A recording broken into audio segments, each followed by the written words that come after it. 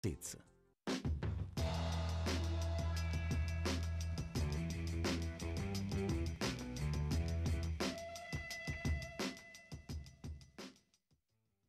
Lunedì 10 febbraio, Santa Scolastica. È il 41 giorno dall'inizio dell'anno, ne mancano 325 al termine. Il sole sorge alle 7.20 e tramonta alle 17.30. La luna si leva alle 19.05 minuti e tramonta alle 8.20.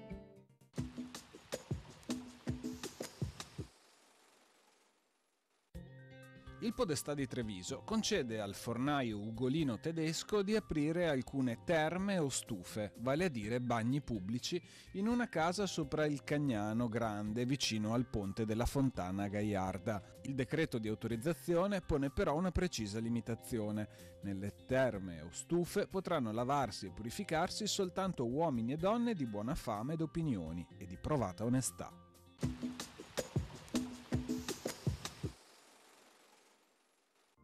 Le previsioni per domani. Cielo poco o a tratti parzialmente nuvoloso. Nelle ore più fredde non si esclude qualche locale nebbia sulla pianura nord-orientale. Precipitazioni generalmente assenti, salvo qualche fiocco di neve in quota sulle Dolomiti fino al mattino. Temperature minime in diminuzione da lieve a moderata.